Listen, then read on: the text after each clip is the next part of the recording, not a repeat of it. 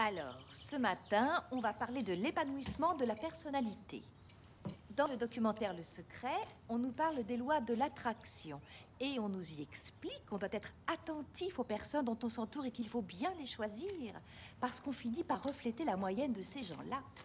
Donc, on va analyser les visuels que je vous propose et qui représentent des personnalités positives qui devraient nous inspirer. Vous connaissez Angelina Jolie?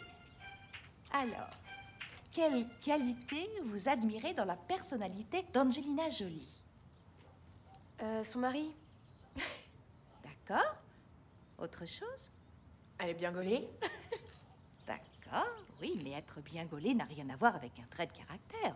Mais bon, Ça va durer combien de temps encore? Eh bien, jusqu'à ce qu'on ait fini, et ensuite on passera au travail sur les essences florales. J'y vais. D'accord.